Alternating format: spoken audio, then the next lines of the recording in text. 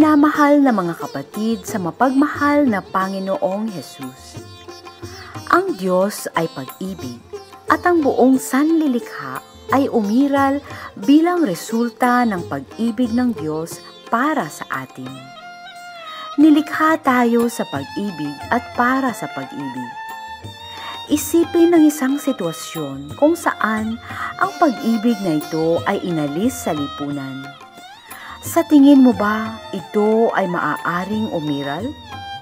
Tiyak na hindi, sapagkat ang pag-ibig ang nagdadala ng dinamismo, aktibidad at buhay. Sa makatwid, ang pangunahing pangangailangan ng anumang buhay ay pag-ibig.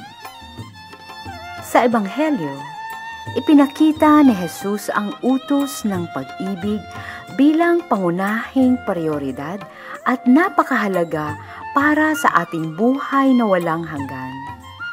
Ngunit kadalasan ay hindi malinaw sa atin ang kahulugan ng salitang pag-ibig. Ang pag-ibig na ito ay nagmula sa salitang ugat na Grego na agape. Ang unang salita ay eros Nangangahulugan nito ng naramdamin na pag-ibig na may sensual na pagdanais at pananabik. Ito ay romantikong pag-ibig. Ang pangalawang salita ay philia. Ang philia ay ang walang humpay na banal na pag-ibig.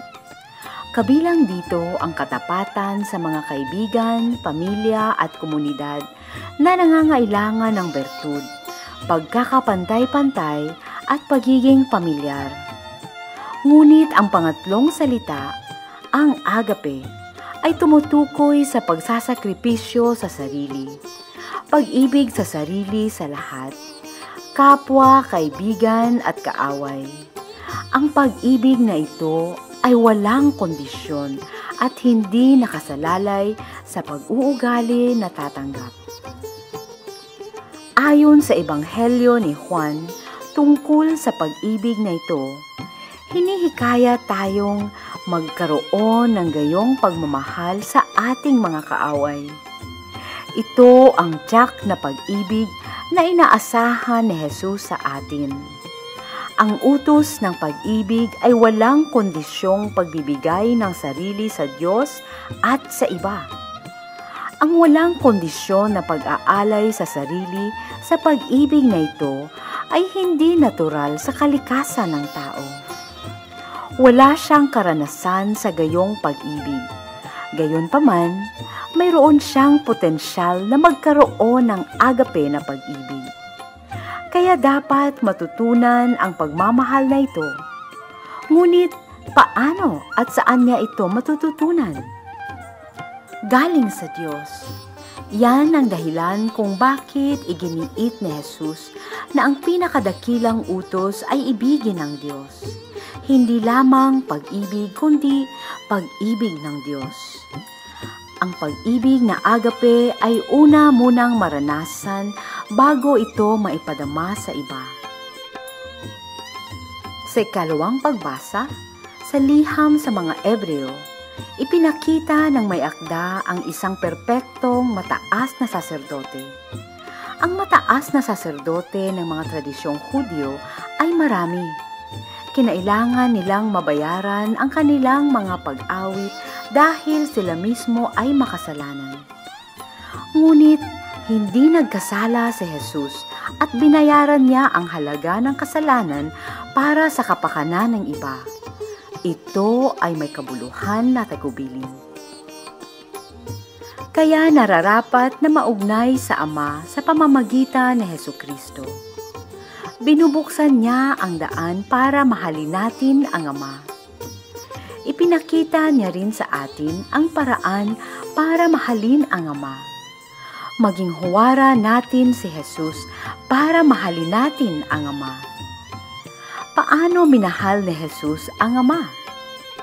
Bilang hinihingi sa aklat sa Deuteronomeo na buong puso niya ng buong kaluluwa at ng buong lakas niya. Ang unang pagbasa ay nangangako ng mahabang buhay na kasaganaan sa mga tumutupad sa Diyos ng ang utos ng pagmamahal ng buong puso, kaluluwa at lakas. Dinadagdagan ni Jesus ng isa pa ang aspeto ng pagmamahal sa pag-isip. Mahalin ang Panginoon ng buong puso, kaluluwa at pag-iisip at lakas. Nangangahulugan ito na ang ating pag-ibig sa Diyos ay dapat nakasama ng lahat ng ating damdamin sa pag-iisip at kilos. Posible ba ito? Oo naman. Sinabi ni San Agustin na tayo ay nilikha para sa Diyos at may likas na hatak sa ating mga puso upang lumapit sa Diyos. Ang tunay nating hinahanap ay sundin ang ating mga puso at maging bukas sa Diyos. Sa paggawa nito, maari nating ipaubaya sa Diyos na ipakita at maranasan ang kanyang pag-ibig. Sa ganitong paraan, maaari din nating mahalin ang iba. Naway, maging modelo natin sa pag-ibig si Jesus na mahalin ang Diyos tulad niya at ng buong buo at ipadama rin ito sa iba. Ilang tanong para sa karagdagang pagninilay. Ang pag-ibig ba ay isang bagay na dapat matutunan o likas na sa atin? Ano ang maaari kong gawin upang mahalin ang Diyos ng buong buo? Maaari ba tayong may plano na lumago ang ating pagmamahal sa Diyos at sa iba araw-araw? Manalangin tayo. Maawain at mapagmahal na Ama, ninais ni Jesus na aming punong pari na iligtas kami sa pamamagitan ng kanyang inosenteng dugo sa krus at itinuro sa amin na mahalin ka ng buong pagkatao namin.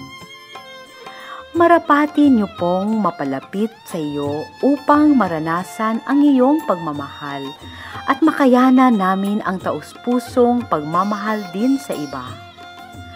Kami ay humihiling sa pangalan ng iisang Kristo na aming Panginoon.